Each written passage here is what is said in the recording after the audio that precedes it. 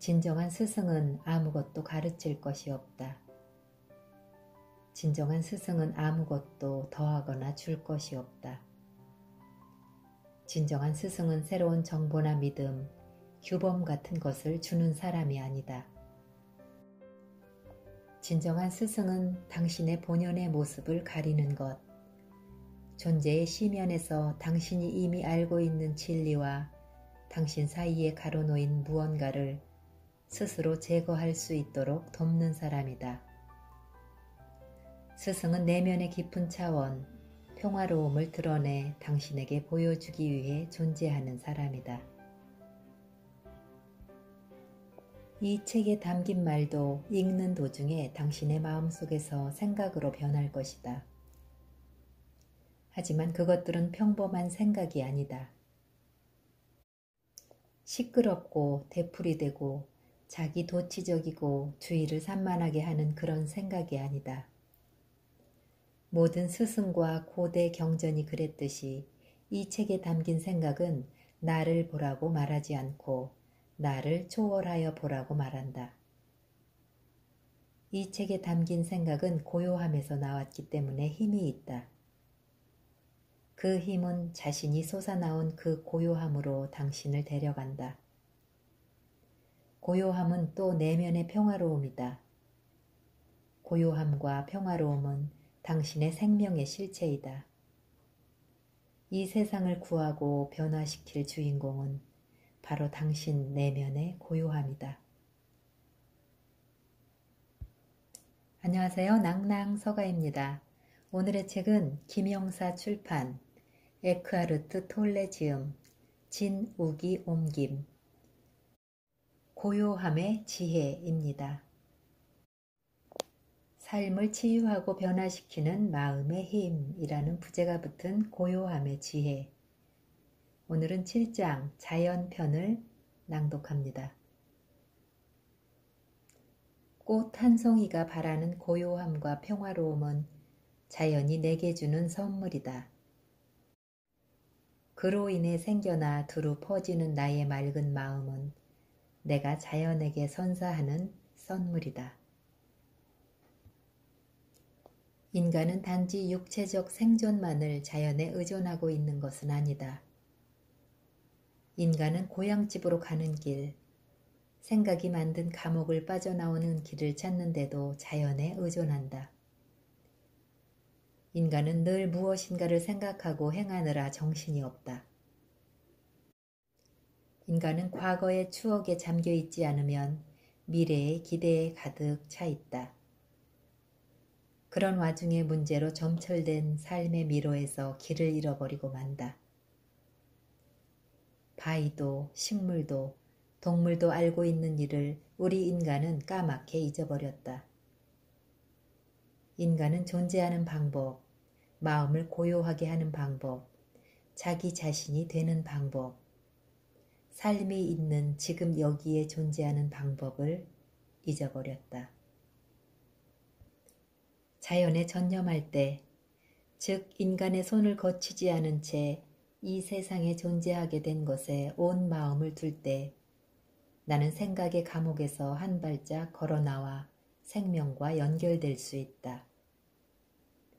그 안에는 모든 자연스러운 것들이 여전히 존재하고 있다. 돌 하나, 나무 한 그루, 개 한 마리에 온 마음을 둔다는 것은 그것에 대해 생각하는 것이 아니다. 단지 돌 하나를 지각하고 나의 맑은 마음 속에 온전히 두는 것이다.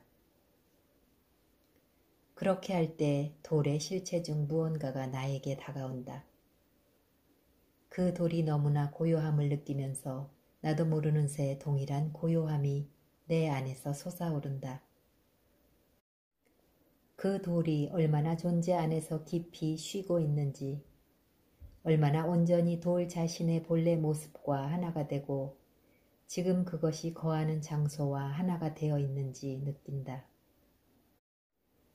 그와 함께 나도 내 안으로 깊이 들어가 안식의 장소에 이른다.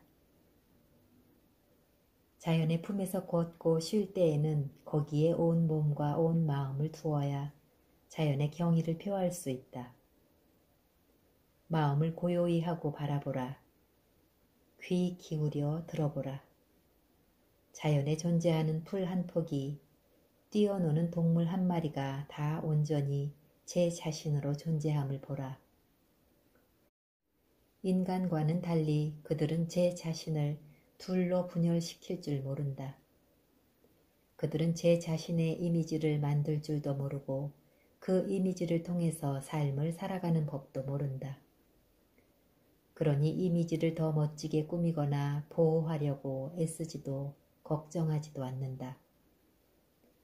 사슴은 그저 사슴일 뿐이다.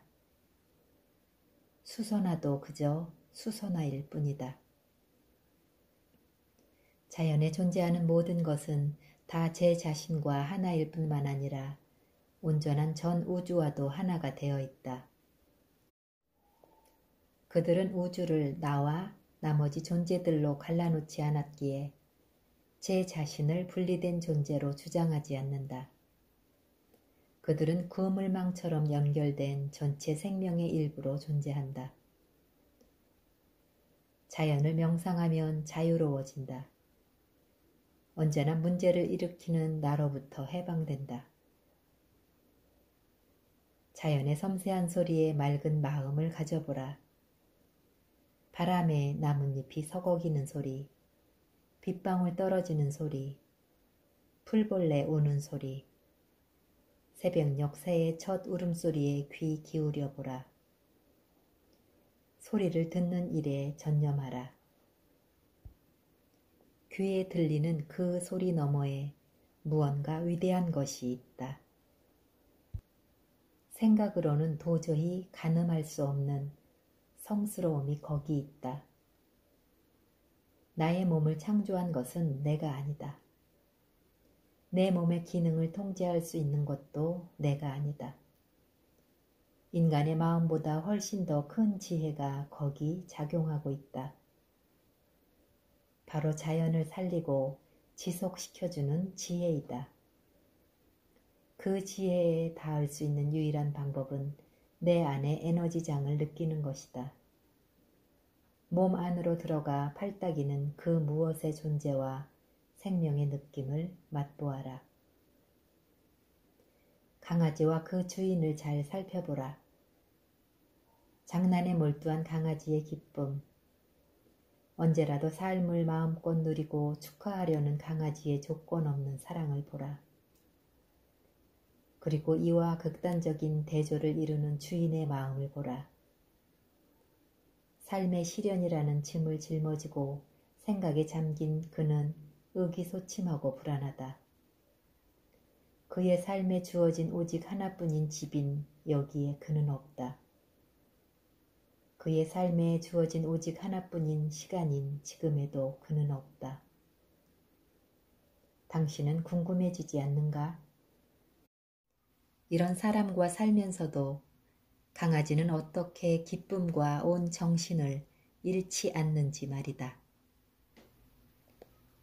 자연을 오직 머리로만 인식하려고 할 때 그 생동감과 생명을 느낄 수 없다. 눈에 들어오는 것은 오직 외형뿐 그 겉모습 속에 담긴 생명, 성스러운 신비함은 알 수 없다.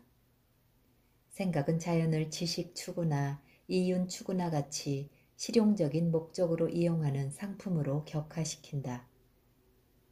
고대의 숲은 목재가 되고 새는 연구 대상이 되며 산은 광산 채굴권이나 정복의 대상이 되어버린다. 자연을 볼 때 우선 마음속에 아무런 생각도 없는 공간을 만들어라.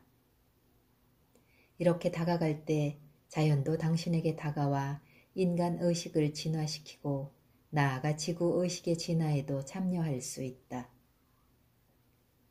꽃 한 송이가 지금 여기에 온전히 존재하는 모습, 삶에 완전히 순응한 모습을 보라. 집에서 기르는 꽃이나 나무를 진정 바라본 일이 있는가? 우리가 편의상 식물이라고 부르는 그 꽃이 익숙하면서도 한편으로 신비로운 존재인 그 꽃이 자신의 비밀을 가르쳐 줄 수 있도록 허용한 적이 있는가? 그 꽃이 얼마나 깊이 평화로운지 보았는가? 꽃 한 송이가 바라는 고요함과 평화로움을 느끼는 순간 그 꽃은 당신의 스승이 된다. 동물 한 마리, 꽃 한 송이, 나무 한 그루가 삶 속에서 쉬는 모습을 보라. 그것이 본연의 모습으로 존재함을 보라. 가늠할 수 없는 당당함과 순수함과 성스러움이 거기에 있다. 하지만 그 모습을 볼 수 있으려면 우선 사물에 이름표를 붙이고 분류하는 마음의 습관을 넘어서야 한다. 그때 생각으로는 이해할 수 없는 차원, 감각으로는 지각할 수 없고 말로는 형언할 수 없는 자연의 차원을 느낄 수 있다. 그것은 조화로움이다. 그것은 전체의 자연뿐 아니라 내 안에도 고루 숨어 있는 성스러움이다. 내가 숨쉬고 있는 공기는 자연이다. 숨쉬는 과정 그 자체도 자연이다. 나의 호흡을 잘 살펴보면 호흡을 통제하는 것이 내가 아님을 알 수 있다. 그것은 자연의 숨결이다. 만약 숨쉬는 법을 기억해야 한다면 나는 곧 죽고 말 것이다. 만약 호흡을 멈추려고 시도한다면 곧 자연이 주도권을 잡을 것이다. 나의 호흡을 바라보고 온 마음을 거기 두는 법을 배울 때 나는 가장 내밀하고 강력하게 자연과 하나가 된다. 그로부터 나는 치유되고 저 높은 곳에서 힘이 솟아난다. 거기서 의식의 전환이 일어난다. 생각과 개념으로 이루어진 외부적 의식 세계가 이제 걸림없는 순수 의식인 내면의 의식 세계로 변화한다. 자연은 내가 생명과 다시 하나가 될 수 있도록 나를 이끌어주는 스승이다. 하지만 나에게 자연이 필요하듯이 자연에게도 내가 필요하다. 나는 자연에서 분리된 존재가 아니다. 나는 우주 전체의 무수히 많은 형태로 모습을 나타내는 한 생명의 일부이다. 그 무수한 형태는 서로 온전히 연결되어 있다. 꽃 한 송이, 나무 한 그루가 성스러움, 아름다움, 깊은 고요함과 당당함 속에 거하는 것을 내가 바라볼 때 나는 그 꽃과 나무에게 무언가를 보내는 것이다. 나의 인식과 맑은 마음을 통해서 자연 역시 제 자신을 알게 된다. 자연은 바로 나를 통해서 자신의 아름다움과 성스러움을 알게 되는 것이다. 드넓고 고요한 공간이 자연의 모든 것을 감싸 안고 있다. 나 역시 그 공간에 감싸여 있다. 내면이 고요할 때만 나는 바위, 풀, 동물이 머무르는 고요함의 영역에 다가갈 수 있다. 마음의 소란함이 잦아들 때만 깊은 차원에서 자연과 하나 되어 지나친 사고작용이 만들어낸 분리된 존재라는 느낌을 넘을 수 있다.